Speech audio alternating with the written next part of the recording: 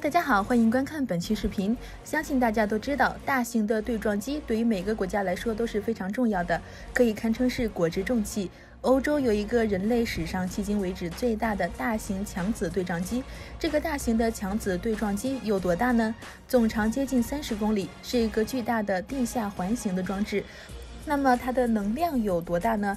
它能以五千亿电子伏的能量对正负电子进行对撞，并且将其粉碎。在粉碎的过程中，还能寻找新的粒子。其实本质就是寻找新的反物质、暗物质以及宇宙大爆炸的秘密。早在三十年前，我们中国就凭借着正负电子对撞机在国际上有一定的领先地位，但随后又被欧洲超越。如今的我国已经开始建设世界上最大规模的超级加速器了。